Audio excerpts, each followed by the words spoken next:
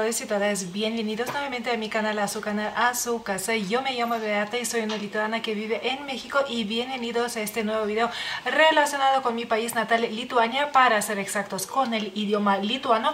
Creo que ya tocaba... Uh, pues hacerles un video pues un poquito relacionado no simplemente con mi país sino con, eh, con el idioma digamos así porque ya ven que de vez en cuando se los voy subiendo cada, cada que me acuerdo cada que este, me sale alguna me nace alguna idea digamos así. Así que pues el día de hoy vamos a aprender o bueno yo les voy a enseñar uh, palabras verbos para ser exactos uh, que uh, siempre que se usan digamos así si lo dijéramos en pocas palabras siempre que se usa algún uno de esos verbos siempre se entiende, o bueno, se debería de entender al menos, que tiene que ver con la casa. Ahorita se lo explico, así, si le, así que si les gustaría aprender esos verbos, entender cómo es eso de que el verbo, o sea, dice o, o nos habla, digamos que este, o se relaciona con la casa de uno, pues quédense a ver este video.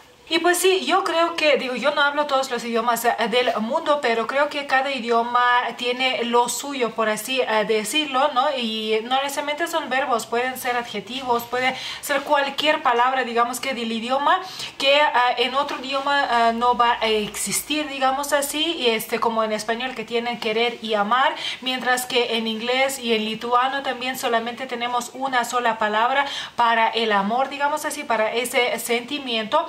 Pues pues lo mismo pasa con los verbos a los que les mencioné, digamos que en la introducción. Y si en lituano tenemos verbos, o bueno, para ser exactos, una parte de los verbos que se usa, digamos así, se agrega al inicio de la palabra y solamente, o sea, con esa parte, con esa partecita, digamos que es suficiente para entender que uh, lo que se dice tiene, un, o sea, tiene que ver con la casa. Que ahora suena como confuso, pero ahorita les voy a dar, um, digamos que ejemplos.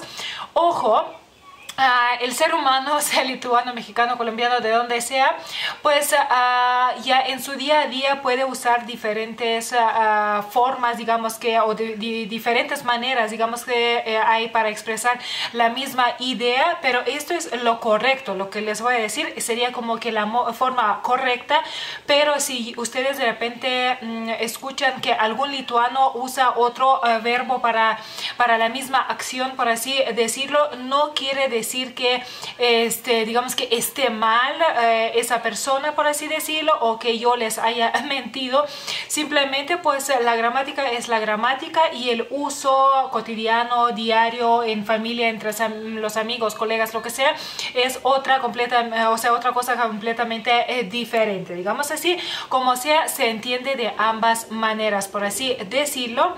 Pero pues vamos a hablar de la manera correcta y bueno, a ver cómo se lo explico, digamos que eh, con los verbos o los ejemplos en, en español, ya que uh, no siempre tienen ustedes como otra palabra pa, para eso, digamos así. Podemos tener en lituano tres palabras y en español va a ser una sola, así como pasa al revés, ¿no? Con querer y amar, digamos así.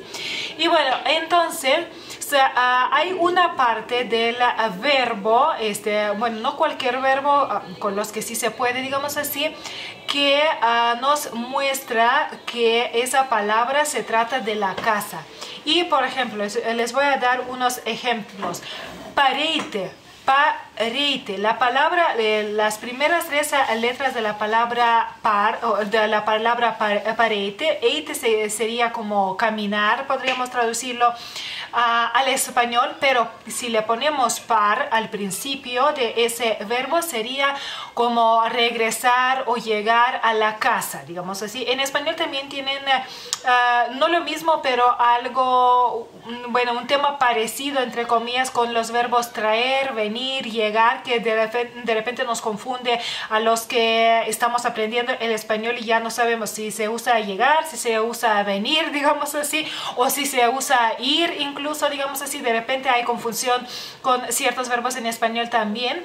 Entonces, en lituano, digamos que siempre que vean antes de ciertos, al menos verbos, esas tres letras, par, va a querer decir que tiene que ver con la casa. Parete quiere decir llegar a la casa, o sea, no quiere decir llegar a algún otro lugar, no sea al cine, a una tienda, al teatro, al parque, donde sea, ¿no? O sea, par simplemente tiene eh, que ver con la casa, o sea, esas tres letras no, significan la casa, pero simplemente así funcionan los verbos con esas tres eh, eh, letras delante, digamos así. Otro ejemplo podría ser uh, es como, podría ser como cargar digamos así, o sea, si lo, lo traducimos eh, simplemente así, eh, ese verbo, neste, cargar, pero este, si dicen par neste, quiere decir ah, traer algo a la casa. Por ejemplo, si alguien le dice, Parneshk man ah, duanos, parneshk man duanos quiere decir tráeme pan, duana es pan,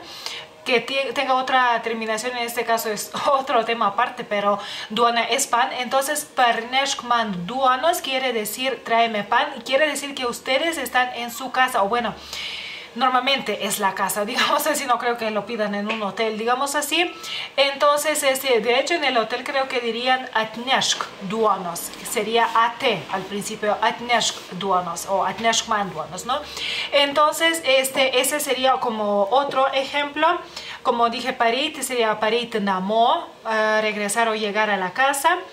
Ah, también podría ser parvesti. Vesti es también como traer. Ahí el problema de que para ustedes traer sea este, en algún transporte o sea físicamente uno es la misma palabra. En lituano nesti es cuando uno carga las ah, cosas y vesti es cuando es en transporte, ¿no? Este, normalmente en coche podría ser, digamos en este caso al menos, pero puede ser este, en, autobús, en avión, en donde sea, ¿no?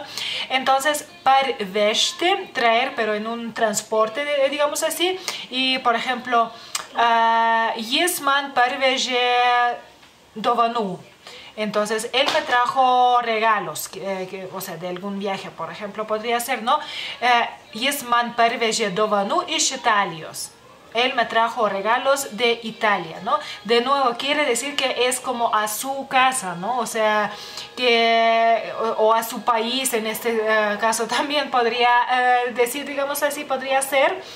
Y este, también otro verbo que, al, que le podemos agregar esas tres letras es correr, biekte, biekte, pero si le ponemos par, par biekte, por ejemplo, uh, parbėgo pietų o vaikai parbėgo į namus pietų, papietauti. Quiere decir que los niños regresaron a la casa a comer. Uh, pietus era comida, o sea, la hora de la comida, digamos así, o la comida uh, como la comida que se come, digamos así, no la hora como tal. Entonces, parbėgti de nuevo es como esa dirección, digamos así, esas tres pequeñas letritas indican esa dirección, digamos que hacia dónde y siempre es hacia la casa, digamos así.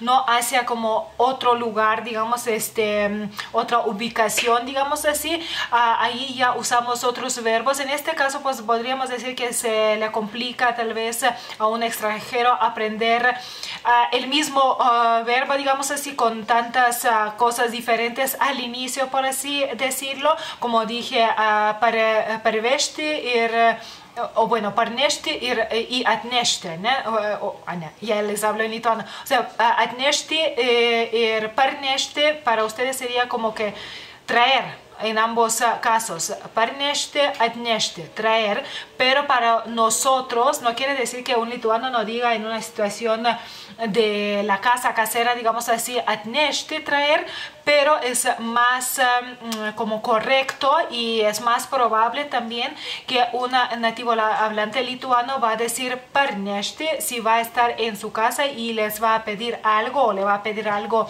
a, alguien, digamos así, que se lo traiga de, de, la tienda, del trabajo, de donde sea, ¿verdad? Este, entonces, sí, o sea, esta es como la curiosidad de la gramática lituana o de los verbos al menos eh, lituanos y simplemente se me hizo una buena idea compartirles este tema, tanto como por un pequeño vocabulario, por así decirlo, así sean que cuatro o cinco palabras, digamos así, y también para que lo tengan en cuenta a la hora de aprender los verbos en lituano, porque no son simple, así de simples, digamos así como desnudos, sí se usan vesti, nesti, o sea, así cortitos también, pero los van a encontrar más largos y pues simplemente para que tengan en cuenta que cuando tienen las tres letras al inicio, la letra P, A, R, par, ah, se indica, o sea, el, mm, que se trata de la casa, de hacer cosas relacionadas, por así decirlo, con la casa. Y pues ah, nada, hasta aquí este pequeño videito como gramatical, digamos así, un pequeño vocabulario, por así decirlo, del idioma lituano de cómo funciona para que vean este que los ah, verbos digo no son como desnudos entre comillas no no son tan simples tal vez en, eh, en lituano como tal vez lo son en algunos al menos casos en español o en inglés o en algún tal vez otro idioma que ustedes ah, no sé ya hablan o están aprendiendo digamos así. Y este que eso sí puede complicar un poquito la vida pero yo creo que simplemente se trata de, de aprender las reglas. A mí pues siempre me ha ayudado a aprender las reglas y luego empezar a digamos que aplicarlas ya en eh, la vida diaria en el o sea en el uso digamos así este hablando o escribiendo digamos así algo.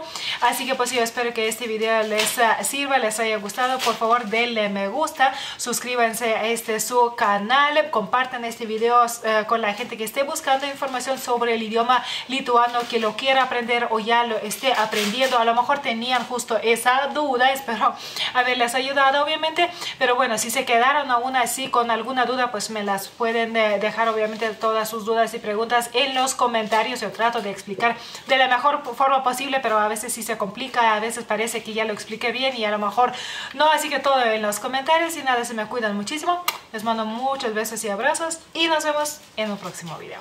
Bye bye.